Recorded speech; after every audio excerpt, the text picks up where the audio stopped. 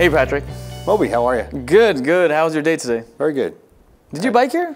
I did. I did.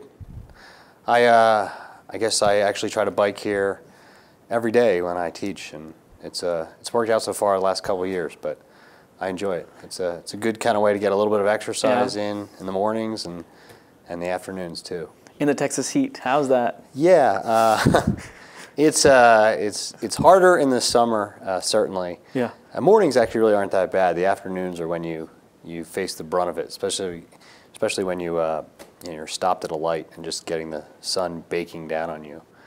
But uh, but I, I, I still like doing it. Uh, that won't the heat won't deter me. Good, good. Uh, yeah. Whenever it's too hot, I get lazy, and I don't go outside or work out. So that's I should probably take a leaf from your book. Yeah, this I think this works because you're forced to do it, and then when you're at school and you only took a bike in, the only way back, only way back is a bike.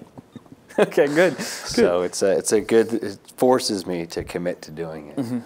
So how long have you been at the University of Texas? I've been here for uh, almost seven years now. Uh, what have you taught in the last seven years? A couple different classes, but uh, I mostly I've spent most of my time teaching in our uh, various masters and MBA programs, teaching a class called Financial Statement Analysis. Uh, so I've done a little bit of other things uh, across time, but, but most of the sections and most of the time uh, that I've done is with that particular class. And you've taught also in the evening MBA, the UT MSTC program, the executive MBA program, all of these? Yes, Okay, wow. MSF, uh, MPA program. I've taught in Dallas, MBA program, Houston MBA program. I think that's the. Do you have to drive to. Houston for the? Uh, yes, we so Yeah, we go down there for weekends. It's they have a program there in Dallas and Houston, and they import the professors, Mm-hmm.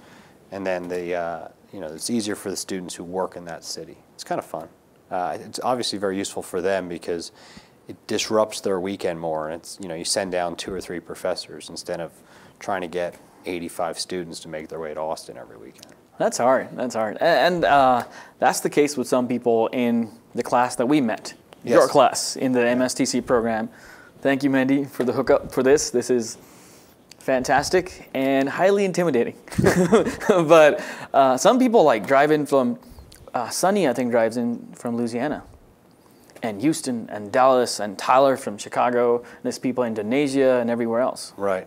Yeah, you're uh, on that point. Uh, MSTC program is one of the ones class I've taught the last couple years, and you're, you're talking about geographical diversification of where people are coming from. But uh, I find that to be one of the most thrilling classes I teach because the class is so diverse. The backgrounds, the experiences, the comments, the perspectives. Uh, when I introduce things, or and we'll talk a little bit later about you know Amazon and Whole Foods and some other stuff, but I feel like every time I've just mentioned a company that I've used in my financial statement analysis class, when I've thrown it at the MSTC groups the last couple of years, there, there's always a perspective, an insight, something where I'm just I'll just step back and be like, I haven't you know I've looked at this you know last three years, last Yeah. four years, and I never would have thought of that, and then some one in that phenomenal and diverse group will be like, yeah, but what about this or some other angle? And it's it's a cool experience because uh, I, I I find it like uh, very enriching, rewarding, and refreshing because of the unexpected nature. And I think it comes because the class is so diverse. You Absolutely. don't have, you know, it's not a class of students who are all aspiring to become accountants or, you know, more homogenous in many ways, which I think makes it very valuable. Yeah, we're, we weren't here to study accounting. That's why it's so hard. yeah, that's a challenge. So, uh, yeah, that's the thing. We, we, I'm trying to, in that class to teach a ton of accounting to a very intelligent, but just you know the backgrounds are not in that specific area. Yeah. So, it's it's a it's definitely a challenge to convey all that information in a short amount of time. But but I I don't know. Hopefully you guys find it bearable. Uh, we do. It's uh, fun. and uh, I've enjoyed it. So you you look at the world and at companies like Whole Foods, like Amazon, through a very financial lens. Is that something you've trained at and got a lot of experience in through your studies and teachings? Yeah, so the, the financial statement analysis class, the one I was mentioning before, um, that we I've done a lot on, uh, it it's specifically designed to do a very in-depth analysis of individual companies. And, and I usually pitch it as we are trying to use an array of financial information Mm-hmm. the financial statements, the footnotes, the management discussion and analysis, conference calls, articles, whatever, to try to really fully understand the, the drivers of past performance, not just how they did on metrics or ratios, but the business story behind it. And, uh, and then the, you know, the goal of that is well, p- potentially we can try to give a good perspective for forecasting in the future, or at least having conversations about you know what could potentially happen next. Uh, it's a I, I've done it past many years, spent a lot of time teaching it. I've tried in that class to develop all the cases and do the analysis and you know research specific companies and read analyst reports and try to make sure that I'm as knowledgeable as possible about um, what's going on or what could potentially go on and it's exciting to teach because it's very real world. Uh, obviously, it's current events are always at the forefront of that class, um, and then you know occasionally you have big picture things that relate to class, and and they add an additional level of excitement. Um, it's also interdisciplinary, I think, which which attracts me to it as well, where there's an opportunity to bring together finance and economics, and even a little bit of strategy and and and you know obviously accounting, but uh, but some of those other areas. Yeah, I never realized how important looking at financial statements. And this is coming from a guy who didn't study in the business school. I did economics, but I shouldn't be saying this. All the professors who taught me would hate me. But I have never realized the importance of looking at, in detail, financial statements to understand where a company was, and then kind of think about where could it go in terms of how it plays with money, how it makes capital budgets, and all that. It was a very interesting class. So let's look at uh, Whole Foods and Amazon. This is this was last week. How many text messages? Because this is one of your favorite topics: Whole Foods, Amazon, Walmart a little bit, and Tesla. Yes. So and Apple, I think. Yeah, those are it's a pretty good. group. How many email messages and texts did you get that day or week? Yeah, so the, the background there, and, and it's I, I can only laugh, but uh, uh, the background is I've, I've spent considerable time in that class the last couple years focusing on pretty in-depth analysis of Whole Foods and also Amazon, and we've touched those other companies too. Um, so when uh, I was actually walking my sons to school that Friday morning, so it was interesting because I was kind of detached and away from the internet. I think I before it broke, whatever, I was already out, whatever. And uh, I just started getting a whole bunch of texts in my pocket. And I was like, what? And I looked at some of them. It was, it was actually one specific former student of mine and good friend. Uh, and to his credit, he's on the West Coast, so he was up early, totally in this, asking me all my thoughts on different aspects of it, whatever else. And, uh, and then, you know, emails and everything that came and, and or came after that, where students are all checking in to see what did I think Yeah. and uh, did I know, whatever else. Um, and uh, this is kind of before we get into the specifics of that. What I what I actually found very refreshing and rewarding is it's it was a cool opportunity just to touch base with people who I hadn't talked to in some actually just in a few weeks because the class just ended, um, and others you know maybe in a semester or, or a year or two, um, who just wanted to you know it was a great opportunity to to reconnect with students. Absolutely. Um, so so I enjoyed that. It was a it was a it was a independent of the news. It was a fun day in many Yeah. ways. So. And I remember waking up, looking at the news, and then getting uh, messages on Facebook and Canvas saying, wow, Patrick's going to love this. and then I was going to interview you about general finance and looking at your personal life through finance and doing all of that. But I saw that I was like, I need to talk about Whole Foods and Amazon. So, in your experience, what you've studied, um, how you studied Whole Foods. How has it been doing before this acquisition for the last five, six years? Yeah, so we've so one of the, the goals what we've done is really to kind of go back many years to to get a good amount of data and understanding. Um, and I would, if I can, I would probably put their performance into two general buckets. Uh, they, or maybe more than two buckets, but they were doing well. They, uh, they hit a pretty tough year in 2009 related to the recession. Um, and, and struggled a bit. But I, what I've covered in class and talked about is they bounced back very well from 2009. 2010, 11, 12 were really phenomenal years because the overall economy wasn't fully recovered, but but Whole Foods was generating double-digit sales growth and performing very well. More recently, um, the last couple of years, they've struggled uh, quite a bit, and I think some of those struggles are driven by just really twofold. It's their own pa- path, which is moving towards you know, they've hit all those ideal areas for Whole Foods locations, and they've done very well there. But there's a finite amount of those. You know, the idea of like low-hanging fruit. Uh, they went to those places, those cities, those uh, urban areas where the demographics worked and everything else, and succeeded at opening up stores that people really like going to and, and, spending a lot and everything else. A lot of money, yeah. Yeah, I mean, they, they have that criticism in some ways, but uh, just to kind of push back on that is it's it's it's what many of their customers wanted mm-hmm. or demanded or wanted to show up and do. Um, so, uh, but the I think one of the things that drove I mean the landscape has changed and their ability to generate strong sales growth, their ability to be more profitable than most other grocers for a certain amount of time, uh, not surprisingly attracts entrance. Yeah. And the current world is very different. Uh, you don't, you know, we not only see Sprouts and the fresh market, but Kroger, uh, Costco, Target, you know, here in Texas, HEB, and even Walmart are pushing hard into this organic, uh, organic, natural, that, that broader category. So Whole Foods is kind of coming to a harder point for it to grow. Um, and up against a level of competition that's very different from what it faced in its, you know, multiple years of, of, of phenomenal performance in many ways. Did it have first mover advantage when it came to the organic food market?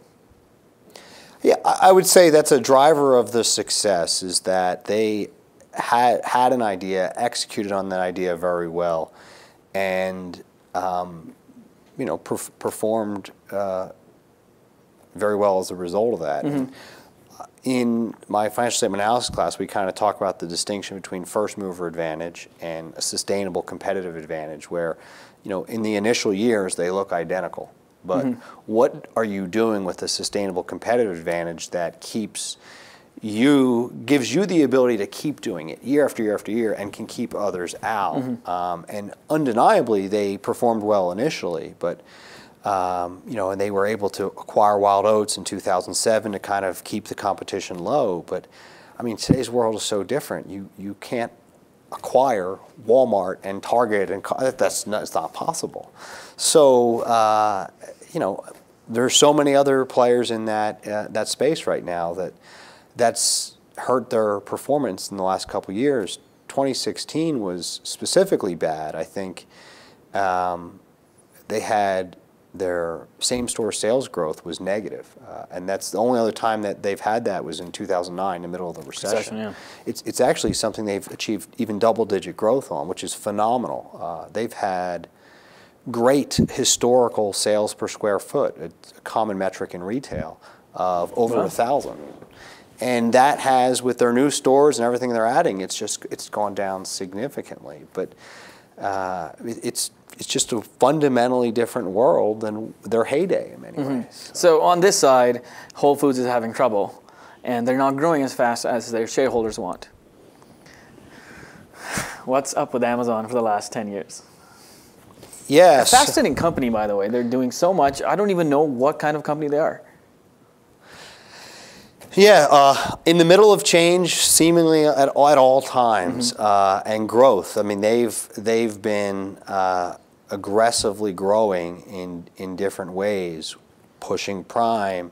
Uh, they've expanded into third party, so not selling their own stuff, but actually, you know, serving as a platform mm-hmm. uh, to sell the products of a vast variety of merchants, which I think in many ways really enables them to achieve that. You know, everything from A to Z. If if it's a platform that has a partnership with all these other merchants, uh, you can really sell a lot of stuff um, or, or, give access to customers to so, so much stuff. And growing their third party sales, growing their own sales, one of the things I would commend them for is that, you know, as they've ventured into new areas, AWS, Amazon Fresh, you know, their, their core business hasn't faltered. Uh, they've been able to sort of sell things online in that traditional e-commerce, but then also expand outwards. And Um, so a lot of growth, and then one other thing they've been doing in the last couple of years has really been committed to, you know, expanding capacity, giving themselves the opportunity to grow more in the future, and also, you know, committing to R and D and spending a ton, uh, you know, billions of dollars, ten, I think well over ten billion dollars a year on R and D. Um, so a a strong commitment to, I would say, in many ways, or the way I've interpreted that is current growth, but also investing in the potential for future growth. How exceptional are those R and D investments? Because I, again, I, I should read more probably, as my mom would say, but how exceptional is that amount of or percentage of uh, R and D investment for a company? I, I, think we need a benchmark there or a comparison group, but the challenge is that doesn't really exist for Amazon. I mean, a, a massive challenge you have with analyzing them, looking at them is, you know, there, there aren't like an obvious set of peers. Well, you know, they're spending this much and their clearly defined peer group is spending this much, but it doesn't exist for Amazon. If we think about them as a retailer, uh, the amount of R&D is, is absurd. It's absurdly high. But they're not a retailer, right? They have this AWS arm yes. and everything else. So um, the dollar amount is large. Uh, you know, it's, a, it's actually, I think, if I'm correct, it's slightly larger than what Apple's was, which is, I, I think we would all see as an innovative, mm -hmm. you know, mm-hmm. technology company in many ways, and therefore R&D is important to Apple. I don't want to make any comment about better or worse in terms of that you know particular amount spent on R&D. It's just that, except noting the fact that, you know, compared to a traditional retailer, Amazon is doing many other things, and this is a part of that. And they're committed to spending, you know, billions on R&D. It's a I'd love to be able to say it's this many times the nearest competitor, but I don't know how to do that. Uh, challenging company fascinating company, but challenging company. So why did they pick Whole Foods? How does that make sense in terms of Amazon strategy with delivering food and maybe Prime Now, and also the impact on Whole Foods? Well, let's talk about Amazon strategy first. Yeah, at some point these come together, and yeah. I've actually said this in my class. Like, well, I, I'll have to uh, slowly weave them. Yeah, and and move out of Whole Foods on its own because it won't be uh, independently reported. But the the challenge there is. Uh, you know, that when do, how do we separate them and can we do that? But I think we can still do that now. So my opinions, and that's really all they are here, but trying to come to the table with some thoughtfulness in the whole process. But my, my opinions are that uh, a couple things that those stores present and um, the general idea here is the locations where Whole Foods are is one aspect that sets them apart from other, why not another grocery store, mm. whatever else. Um, and their locations are in high traffic, generally speaking, uh, upper income, you know, on average, I don't want to stereotype all of their customers, but uh, higher income distributions or, or, disposable income, high foot traffic in, in terms of urban areas. Um, so those things from a retailer's perspective present the opportunity for more revenue. More people come in, more people spend more, people are less price sensitive. They're in those areas, the Whole Food stores already, and they have a much higher concentration in urban and sort of wealthier suburban or you know the, the mix between urban and, and suburban I'm, I'm not sure the exact term there but you know they're in highly concentrated populated areas um, and so there's a lot of people that are current or potential Amazon customers around that Whole Foods store already. Um, and a thought there is that, you know, what will this do for those customers? Will they? What do you mean when you say potential Amazon customers? Are these people who want to get Prime or subscribe to um, Prime Now? Sorry, do the opposite. What do you mean potential Amazon customers? I don't know what they want, yeah. but I think the, the reality is they, they're, they're likely a great testing grounds for Amazon in a lot of ways. Because okay. when we're talking about price insensitivity and some of those other aspects, uh, it may be a, a, demographic that's easier in some ways to sell things to, maybe potentially more uh, familiar with, comfortable with the idea of shopping online. Mm -hmm. um, and so that presents some some opportunities for those two companies to work together well. Uh, but but another thought there with the locations is, uh, and I, I wonder this point, which is like how and where will our shopping behaviors change? Um, you know, will we always want to be have the experience of shopping, of touching, of seeing, of of picking up, um, and then there's the logistical challenge of delivering groceries, which is very different than delivering, you know, the, a lot of the goods that Amazon currently sells tons of, where there's you know perishability and timing. Will you be home to pick up the order, bring it in, and put it in Oh, your that's freezer? Um, so it doesn't it doesn't work out like anything that ships in a brown box should be you know, the same. So a, a question is: Is this actually a, you know a way for them to manage costs because that last mile? The customers can go at their convenience to either pick up groceries or maybe shop themselves. Um, so that's a the locations may be a way of enabling them to be a part of brick and mortar, which is the way I see this. This isn't going to be shutting down a competitor to push people online uh, with grocery sales.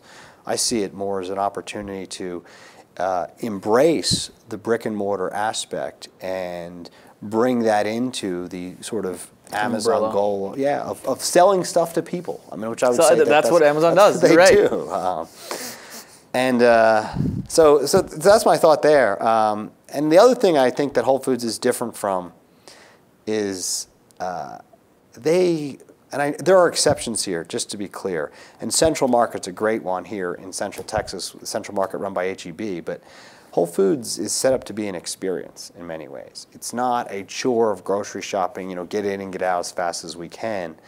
Um, have you been to the down, the one? The downtown one? Yeah, here in It's been a while. I like Trader Joe's. Um, but but there, if you go there, it's like it's almost overwhelming. Like what else you could do? There's Yeah. ice That's skating. true. There's a bar. There's you can drink a beer while you shop. You can uh, can take yoga classes, cooking classes, and so an argument there is uh, why Whole Foods is they offer the opportunity, the experience of shopping more than just the I need to get my groceries. It becomes part of a lifestyle, potentially. Potentially, yeah. Yeah. And I w- and I wonder if Amazon uh, is moving in this acquisition because, you know, could they bring this in where the Whole Foods stores become these distribution hubs, and in the distribution hubs we can try out products, test stuff out, look at new electronics. Um, think about how the newest version of AI and Alexa works to do basic things. And so there's a showcasing element of that experience.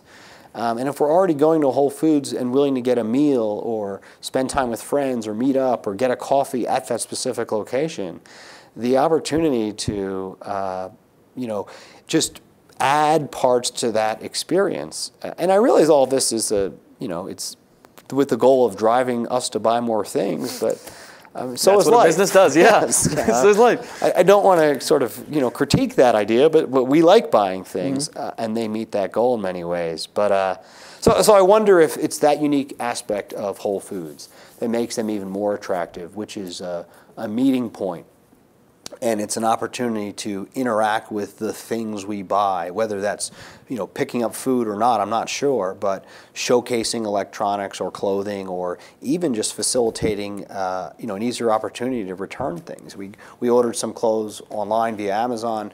We don't want them, or they didn't fit, or whatever else, and now it's a it's not two or three errands, it's one, uh, which which is potential value to the customer. Do you think that now you can order Whole Foods through Prime Now and get them on in your house in two hours? Is that a potential strategy for Amazon? That's a it's a great question. Um, I, it's got to be a something that they are thinking about at a level that you know I'm I, I'm not going to pretend that I can even be at. But uh, I, I think the question there is is, is ultimately are we wanting to try to move groceries online? I I don't think in the short term, although there are some opportunities where that could work. But but but my my assessment is that you know that we'll still be using those brick and mortar stores to engage in the the experience of shopping uh, for food specifically. So I, I, am I'm curious about that. um, sort of when and how or would this shift occur. Uh, but, but I'm not I'm not really sure. I just my, my, my thought would just be that the brick and mortar piece of all this is is going to stick around for some amount of time, and and another layer to that is I wonder if we. Uh, if we as humans still is crazy, I guess, but we still like the opportunity to interact with other humans.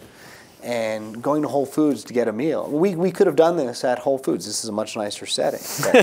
we, we could have been up there and grabbed True. a coffee Uh-huh. and, and done whatever else. And will we always value uh, The experience of meeting other people, or the experience of a store. I think it's the store is facilitating the opportunity to. It sounds Mm-hmm. crazy, but to be social and not just to be, you know, uh, hiding away in our pajamas, uh, ordering things online, Yeah. and then, you know, only opening up the door when we hear a knock to pick up that package. Yeah. There, that could be a very lonely existence if, if we don't ever have to, uh, you know, our basic necessities, which we're still buying in brick and mortar stores, are, you know, delivered right to our door. Absolutely. And everything now is moving to on demand. Movies, music, cars, food, all sorts of entertainment. Now that I wonder what's left, friends? yeah. What would you say to people who are now thinking Amazon has AWS, has a huge um, just platform where people sell everything and they're moving into food. I remember a friend telling me about seven, eight years ago that, hey, uh, no, five years ago, hey, don't buy a Kindle, buy it from uh, bookstores, supports your local economy. With this move into Whole Foods and Amazon owning more space in very different industries, what would you say to people who are like, this is monopoly? Shut it down, someone do something. It, it's it's it's definitely a concern, um, and you know, one which will have to be addressed uh, going forward. Uh, I'm not a lawyer by any means, but my understanding of the problem specifically with monopolies is the ability to control the market and therefore uh, move to away from competitive pricing. So increase prices, basically the, the idea of price gouging. Um, you know, I don't know what the future holds, but it seems so far that the opposite has occurred. That the answer is, well, the opposite's occurred now, but what will happen in 6 years, I don't know. But but we haven't really, we have not seen, uh, you know, these massive increases in prices as as Amazon's size and and, and scope has grown. Um, but it's, uh, you know, that idea is is certainly uh, something to consider and you know, I, I hope always is taken seriously uh, by the regulators just to, to make sure that, you know, that the anti-competitive practices aren't happening yet. But, but, but I also see a distinction between a, a definitively anti-competitive practice and just growing. Uh, and, and this is clearly growth. And again, I don't know what the future will hold, but, but I do want to uh, separate those two. Um, but, but another thing that you know I just think about often as a, as a business professor, but then as a consumer and as an individual and, and, and, and all those other things and lots of conversations with friends and family, whatever else. Uh, you know, but at the core, uh, Amazon seems to have been on a trajectory where it sells us stuff that you know we want, we Yep. demand. It's not forcing us to to buy Prime. Um, it's not forcing us to uh, to enjoy those things. And you know, I would, I, I, my family does subscribe to Prime, and I would say it's definitively um, convenient in some ways. And Extremely. so we benefit from that. Another thing, This I've was seen- Amazon Prime. Socks for Amazon Prime. yeah. yeah, lots of stuff. It's easy to do, um, but but it's not just. It's valuable because if you think about it in some ways, and, and I'm curious where grocery will go in the long run. Um, the value to the consumer, independent of the prices, is you know the less time you have to spend driving around and shopping.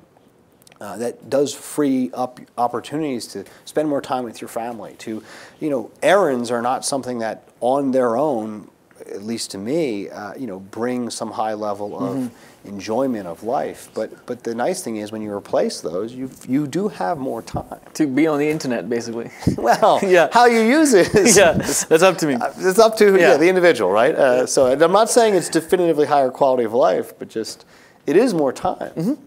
So, putting on your consumer hat. So, if I walk, tomorrow I wake up, I can get food delivered in the morning.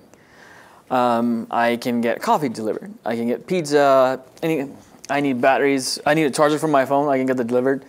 Um, music, YouTube. I don't have to do cable TV. I don't have to ha- have a car. I can get Uber. Do you think that businesses down the line, which create experiences for their customers, are going to be more profitable because that's what people want? For example, I have two stores close to me which have coffee. Same coffee. I don't know the difference really, but I go to the store which is more East Austin, more hipster, where I know people and I like the experience. Do you see that growth in consumer experience? I don't have any specific knowledge or, or, or, facts to kind of back that up, but, but everything you mentioned seems to make sense. Uh, I would only see it in two ways, though, which is the first thing I think you're talking about the specific social experience mm-hmm. of liking spending time with people who have similar interest and whatever else. That's part of an experience. Another part of the experience, though, is this the convenience aspect of it, which is it, it makes something easier for me or more enjoyable. You know, I'm, I'm getting a meal at a restaurant because the chef is going to be able to cook it. It's not only more convenient in terms of not washing dishes, whatever else, but you know, whatever what's going to be prepared by a chef is going to be much better than I would have made myself. And so, those things have been, a, I mean, clearly have been a part of society, and I, I it's I mean the service aspect looks like it's growing in all ways. I, I wish I had you know specific data points to to get at there, yeah. but uh, but uh, but I agree with you. I, I think that that's you know those aspects of society will continue to grow in many ways, and and if we consider the idea of having more time from you know shopping less or doing more mundane errands that does potentially free you up to spend more time on these experiences. But as you spend more time on the experiences, that gives the opportunity for a business to sort of meet that specific need. So, an interesting anecdote that I have about, uh, you know, prices and is it a monopoly or whatever else is I. Uh, so we needed a little piece for our car, the little motor for the window console, and uh, I called up a dealership and they told me it would, I think the total cost would be like $160 for the parts and then the labor. And of course, I'd have to drive to and from. Um, and then I just decided that seemed like a lot to me, although they told me it was inexpensive. Um, I looked on Amazon, found the part with a you know 30 seconds, maybe a minute of searching. Uh, it was six dollars, and went over to YouTube. Uh, played around until I found the video of somebody installing it and watched that and got it shipped from Amazon in a couple days and put it in and it was easy to do. And it was fascinating to me because at that moment I realized or I thought about the idea of how much other how many other areas have they actually drastically reduced prices or potentially information asymmetry because what they brought to my fingertips was the ability to know this tiny little piece is only worth five or six dollars, not ninety dollars. And moreover, the service was, you know, two little screws. It wasn't something. I mean, obviously there are things that are well beyond my ability, but it, it wasn't a labor-intensive or skill-specific thing. So. I'm curious as you see this company bring together so many products with third party, with groceries, with whatever else, to what extent um, that helps enhance the customer life beyond convenience just by giving us better information, uh, better access to, if we want it, the opportunity to search out, to learn, to see firsthand that, you know, this, this thing doesn't cost all that much. Interesting. I love to end it at that. Okay. Thank you. Yeah. Did you get Thank everything? You. Thank you.